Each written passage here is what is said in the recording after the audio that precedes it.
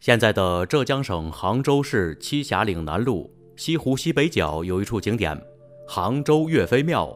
去过西湖的人，想必也去过此地。这是南宋抗金名将、民族英雄岳飞的纪念庙。对于岳飞呀，不少人也不陌生，尤其是他背后刺字的故事，更是感染了无数人的豪情。岳飞也成为了无数人心中的英雄。但是岳飞离开的很冤，当然也不值。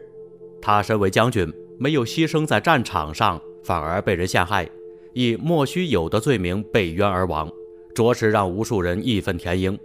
既然说到了岳飞的去世，又不得不说秦桧，此人是陷害忠良大臣的最佳代言人，而岳飞就是给他谋害的。后人为了替岳元帅出口气，特地做了秦桧等人的铁像，让他们永世跪在岳飞墓前忏悔，受世人唾骂。不过，谋害岳飞的罪魁祸首并不是只有秦桧一个，细细算来，应该是一群人。具体有谁呢？其实看看现在岳飞墓前跪的人就知道了。现在的杭州岳飞庙，岳飞墓前一共跪着四个人，即陷害岳飞的秦桧、王氏、张俊、万四谢四人。岳飞庙前有一副楹联，上面写着：“青山有幸埋忠骨。”白铁无辜铸佞臣，而这佞臣说的就是谋害岳飞的秦桧夫妇及其党羽。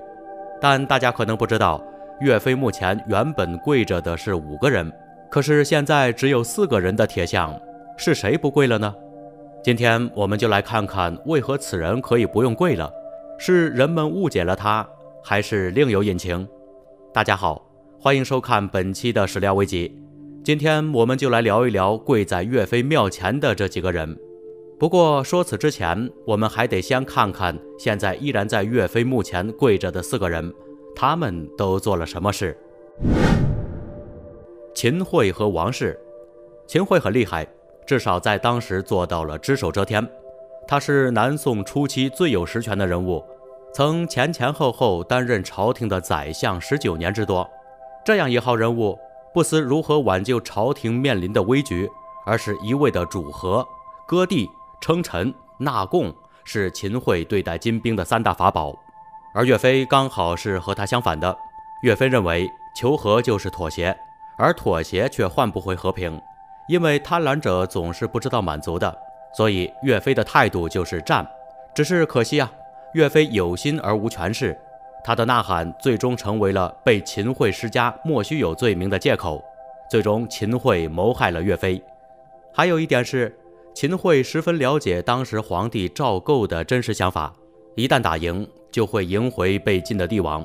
如此一来，赵构的身份就会非常的尴尬。更重要的是，虽然当时秦桧是宠臣，也是权臣，但是绝对没有能力可以左右宋高宗的。但是。了解宋高宗心思的秦桧和高宗可谓是一唱一和，在秦桧看来，不除掉岳飞难成何意，所以才使得岳飞含恨而终。所以岳飞被害，秦桧难辞其咎。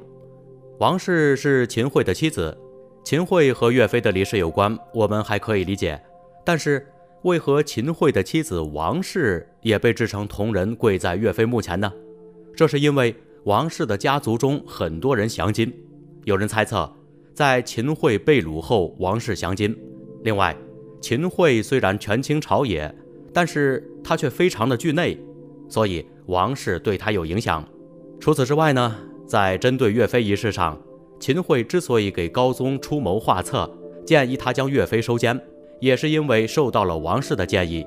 因为王氏说：“缚虎容易，纵虎难啊。”而秦桧听了王氏此言，才立即下了决心，取过纸笔，写了术语，折好，派一名干练的家仆秘密将这封信交给玉立。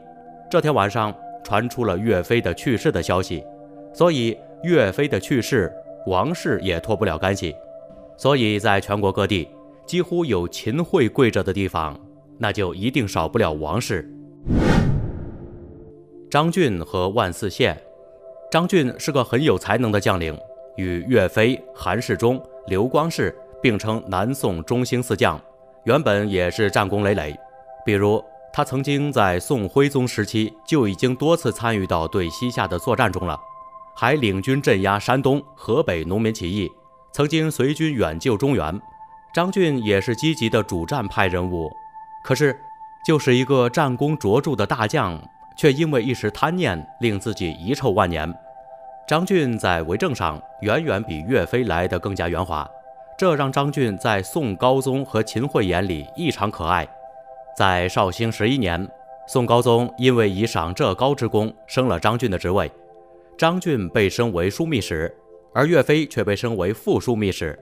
韩世忠是名将，执掌军权，可宋高宗和秦桧二人在当时就已经有了议和之心，所以并不打算兴兵，也不打算重用主战的将领。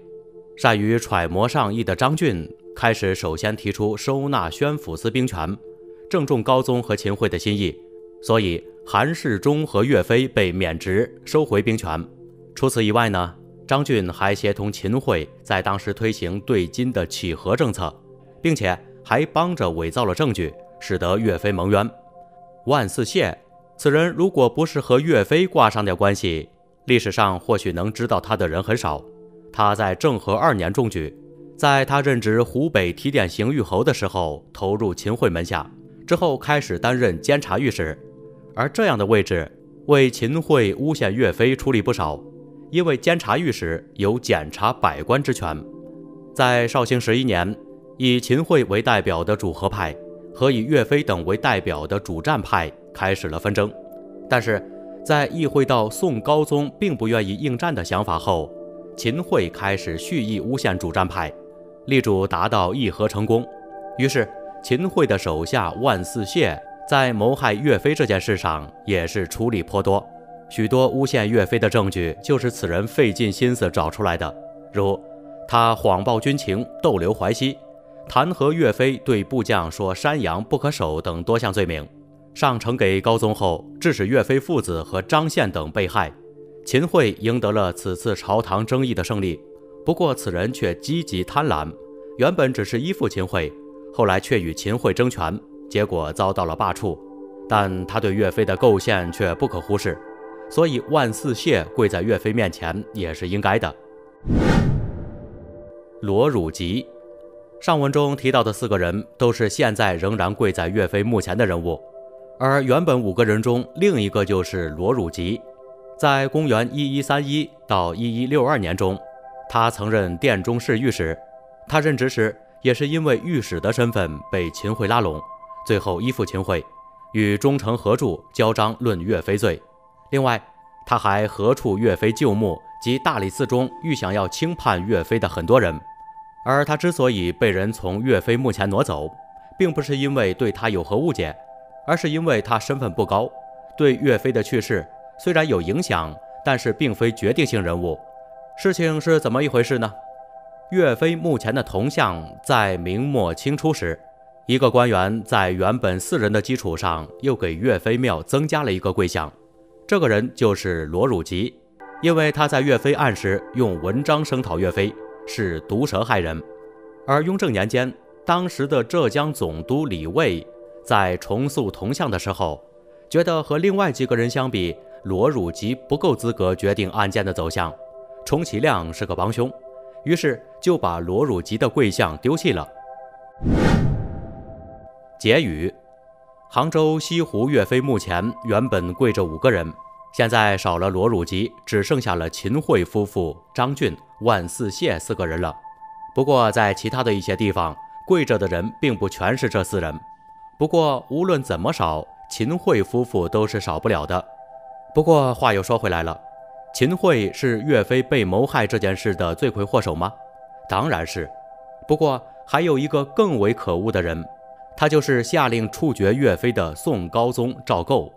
所以，最该跪下的人应该是赵构才对。作为一个皇帝，不能任人唯贤，不能明辨忠奸，以奸臣为忠臣，以忠臣为佞臣，这样的宋朝又怎能不灭亡呢？岳飞的去世不值，却永远被人们敬重。秦桧等人虽然大多数得到了善终，但却永远被钉在了历史的耻辱柱上，不得动弹。这或许就是历史的公正性吧。正所谓。正义和公道自在人心。对此您怎么看？好了，今天的分享就到这里，感谢您的观看。如果您有什么看法，可以在评论区留言。我们下期再见。